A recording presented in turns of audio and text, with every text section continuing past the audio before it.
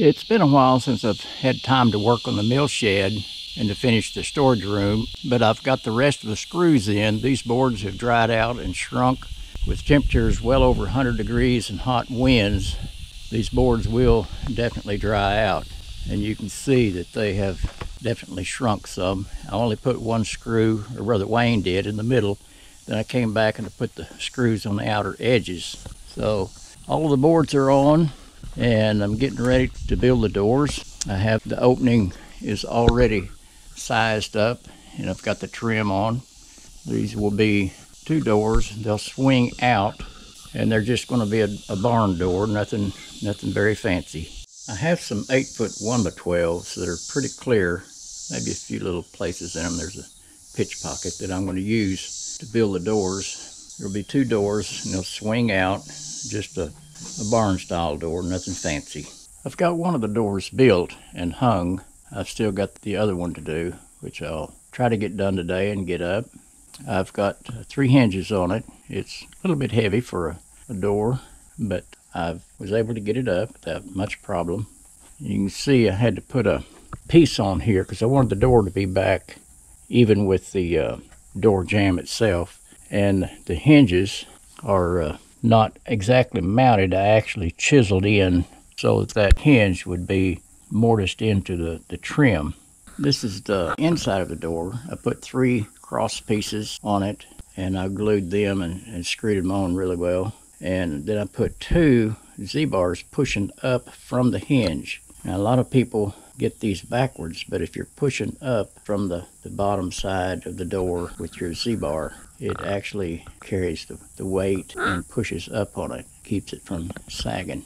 I'm getting ready to uh, put the cross pieces on, the braces to hold it together, and I'm holding back 5 eighths of an inch from this edge so that I can put my door stop in there. And I've got it on my line. And I'm going to lay some glue on here pretty liberally.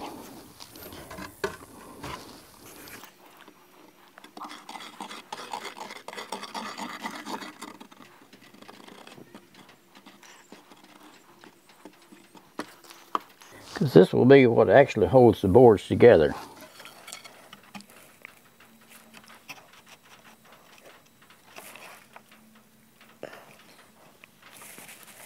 I've got that clamped. I'm just going to put uh,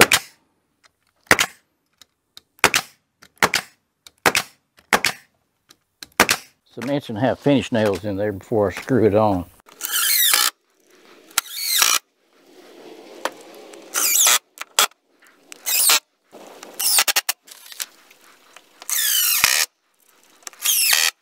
I should hold it. There's uh, six screws in each board. And with the glue, that should keep everything held together pretty good. At least I hope so.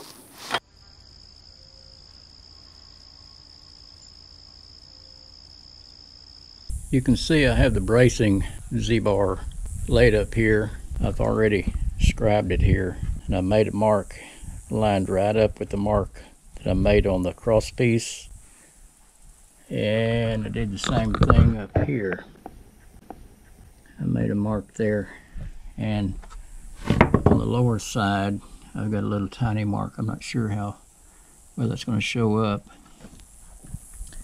And I'll turn you over on your head and I've got another mark right there. And I'll just connect the dots which I've already done. And uh, I've got a line across here I'll just cut that with a skill saw.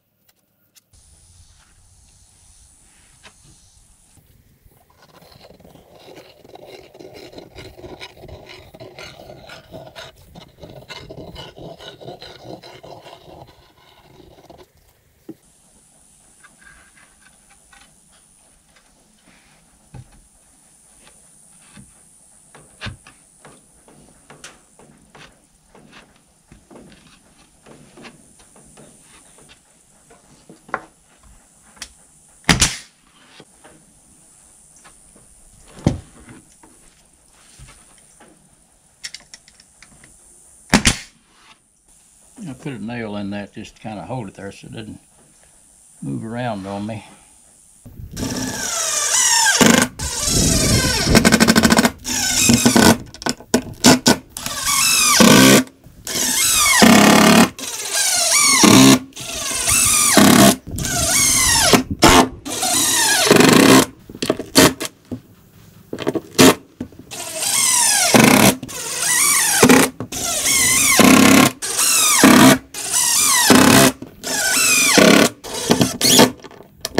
I'm making sure when I put these on, all of them, I'm catching both edges of the of the 1 by 12 so I have a good solid connection there on it.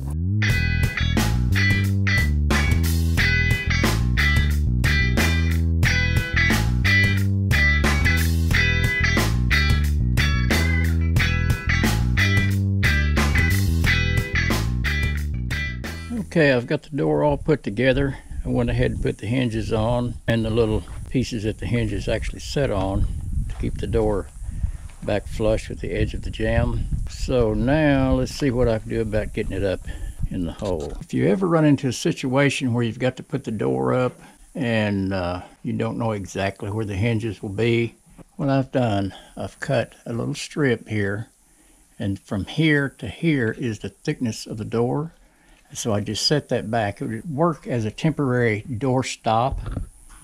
And I've done the same thing down here at the bottom. And I can let the door set against that and I can put wedges in here on the on the side edge of the door and I can get it where it needs to be. I've got another one right here where I can drive a wedge right in here and also then on the floor I've got a couple wedges for it to sit on and I can drive them in to raise it or pull them out to lower it. That way I can pretty much get the door where I need it to be. Okay, I've got the second door up and what I did, you can see the little wedge at the bottom that actually holds it up and I've got one over here at the bottom and one at the top and two on the sides and that held the door in place so that I could actually just, I didn't even have to take the door back out. I just folded the flange over and scribed around it and chiseled it in and put the screws in it. Now I can take those uh, wedges out and hopefully it'll, it'll work. Well, I've taken the wedges out from around the door. We'll see how it works now.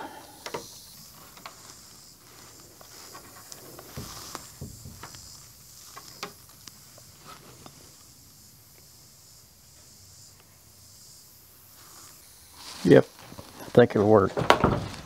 I've got wedges here just to hold this door still.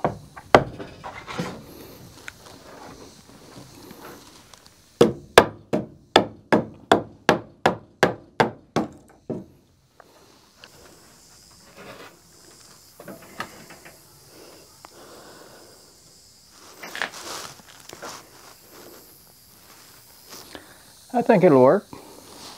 It's really nice to be able to work in the shade in the summertime, and that's what I'm taking advantage of this morning, is getting as much of this on as I can. So I'm going to measure each one of these. Uh, there's just four long batten strips, and then there's seven little short pieces that'll go up above the door.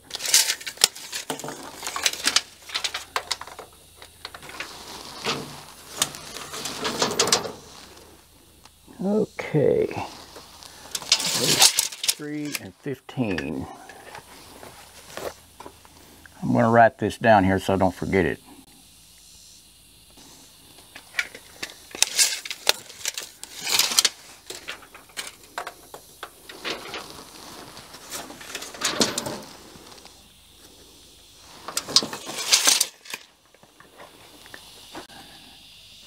Ninety-four. Okay, I'll cut those and get them up.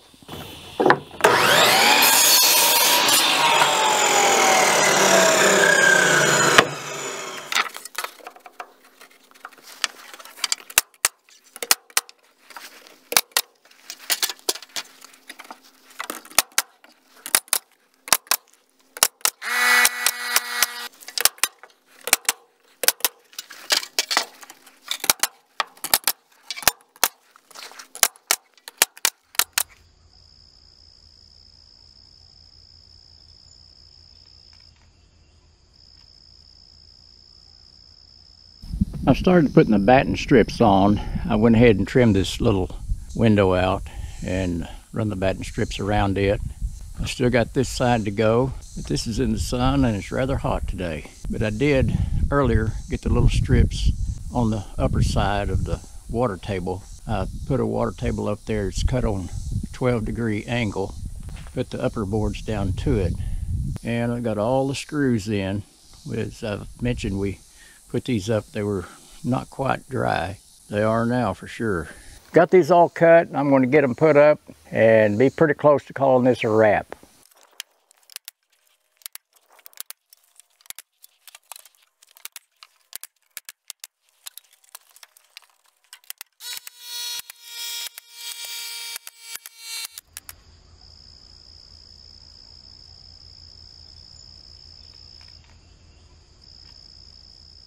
The bat strips that I'm using are uh, two and three quarters of an inch wide. I kind of like that width. It seems to work well. It looks nice. What I do when I, I'm getting ready to put these on, I don't know if you can see that little mark right there. I plumb down.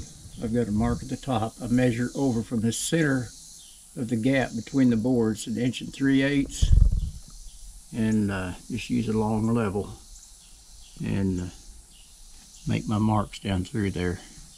It's kind of hard to see them with that grain like it is. And I kind of know where to look for it.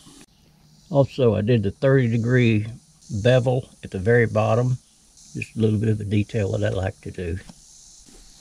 Okay, so I've pretty much got the outside done. Got all the batten strips on. I'll just do a real quick walk around here.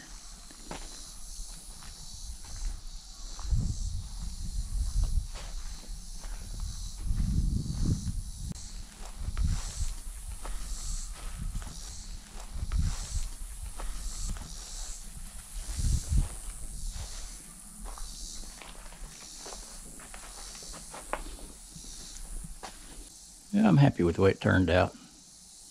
All this lumber, everything we used here, all the timbers, uh, the 1 by 12s, everything was sawed on the uh, on the HM 126 Woodland Mill sawmill.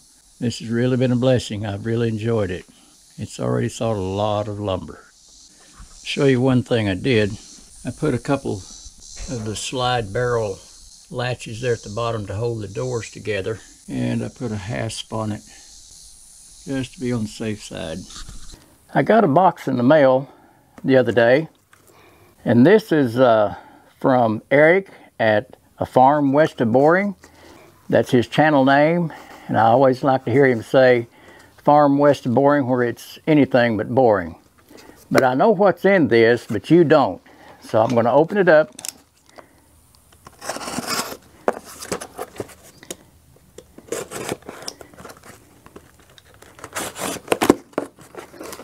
show you what I got.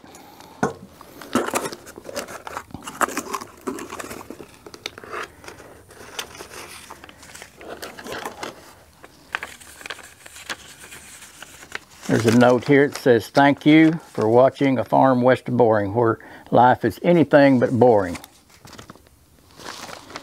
And what I have is a brand new Woodland Mills cap or hat. Some people call them a hat. This is what I call a hat. But I won this in his 500 uh, subscriber giveaway. And if you don't have his channel, I suggest that you go and watch his channel, subscribe to him, and give him some support. He's got a, a Woodland Mills HM130, and he's also building a, a sawmill shed. But I won something other than an argument, and I'm so thankful for the cap, Eric. Appreciate you, brother. And I'm going to put this on my head. Now I've got a head shaped like a sweet potato that grew between two rocks, so I'll have to adjust this just a little bit to fit my head. There. Thanks, Eric. I really appreciate you.